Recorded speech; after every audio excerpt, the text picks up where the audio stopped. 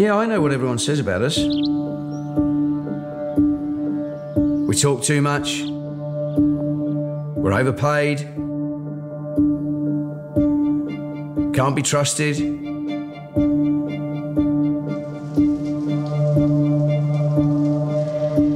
At the end of the day, are we even needed? We've done ourselves no favours. The fancy car, flash watch, smart suit. I hate suits, I never used to wear them. I remember I passed this property in. It was Black Rock a few years ago. There was a senior director there. He'd been in it a lot longer than myself. Probably, what, 15, 20 years longer?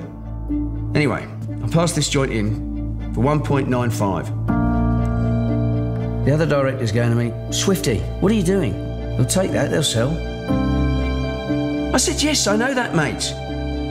Well, come on, let's go, he said. Let's not get ourselves in the way of a deal. Let's get out of it. Go up the sandy, have a few beers.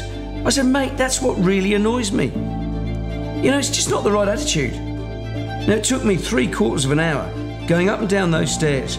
I got another two and a half grand more in the end. But it was the last two and a half grand that was the most important. And that's the difference, the two and a half grand.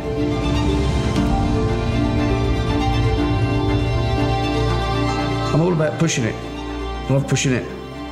Pushing it till they push you back. It's all about bluff. I love the game. Just taking bids? That's easy. Anyone can do that.